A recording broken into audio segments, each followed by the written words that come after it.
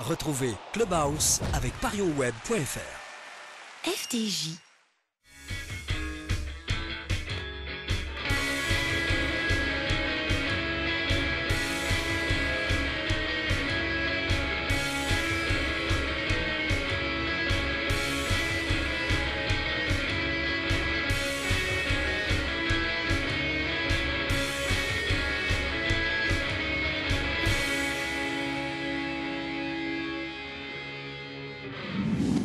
On a le plaisir aujourd'hui de recevoir Lassina Diabaté sur euh, le plateau du Clubhouse. Vous le savez, comme tous les mercredis, on essaye de donner la parole à un invité exceptionnel.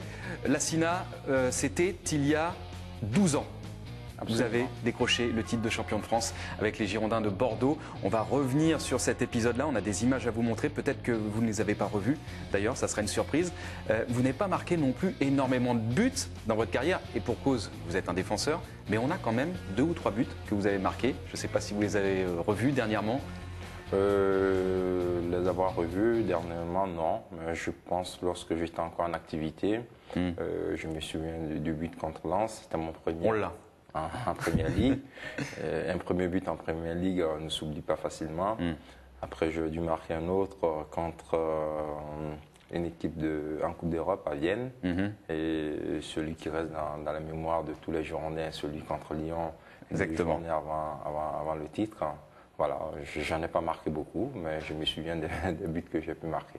On va regarder ces images, on va se replonger dans votre carrière. On parlera aussi de l'après-football. On vous demandera ce que vous devenez, ce que vous êtes en train de, de faire. Mais commençons par le commencement, justement. Comment vous êtes devenu euh, footballeur, Lassina? Euh, comme tout gamin de, mon âge, euh, j'étais en Afrique. euh, je dirais plus ou moins que l'Afrique, le football reste quand même une passion pour tous les enfants. Il y a une accessibilité par rapport à d'autres sports où on a besoin d'un cadre très figé. On peut le pratiquer à n'importe quel endroit. C'est ce qui m'a permis, moi, en tant que jeune Africain, et ayant la possibilité de jouer au football à des endroits où on n'a pas besoin d'avoir un cadre spécifique. Et de passion en passion, euh, j'ai eu la possibilité de venir très jeune en France. Et ça m'a permis encore euh, de, de me donner encore une passion supplémentaire, puisque quand on arrive en France, à la différence de l'Afrique, il y a les structures adaptées qui vous permettent euh, de euh, plus ou moins évoluer dans, dans de bonnes conditions et dans les meilleures conditions.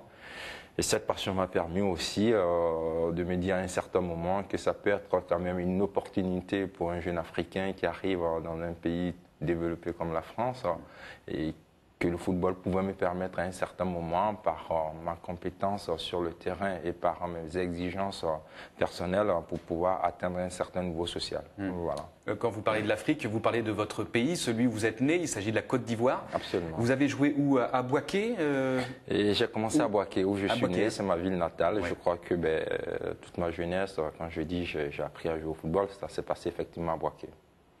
Qu'est-ce que vous gardez comme souvenir de, de cette euh, période-là? Euh, Le souvenir que je garde euh, de cette période, c'est qu'à Boaké, on avait une équipe qui évoluait déjà en première ligue du championnat ivoirien. Et quand on est jeune, apprenti footballeur et qu'on a au niveau de l'équipe première qui évolue à un très bon niveau, ça ne peut vous donner qu'une motivation supplémentaire. J'ai eu la chance aussi d'avoir des grands entraîneurs africains qui sont passés dans cette équipe de Waké, et chose euh, qui m'a permis rapidement d'intégrer à mon jeune âge euh, dans une structure euh, à moins degré qui se passe en Europe, d'être suivi au niveau de, de cette équipe. Justement, donc vous commencez, vous faites vos premiers pas sur le terrain à Boaké. Comment vous êtes détecté et comment vous arrivez en Europe? J'arrive En France. à- en, en France euh, par le biais d'un cousin qui s'appelle Traro Moussa, qui a été euh, champion d'Afrique en 92.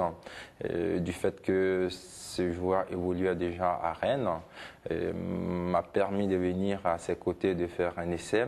Et à Rennes, l'essai n'avait pas été fort bien concluant, où après lui, il a été muté à, à l'Est en Cévennes.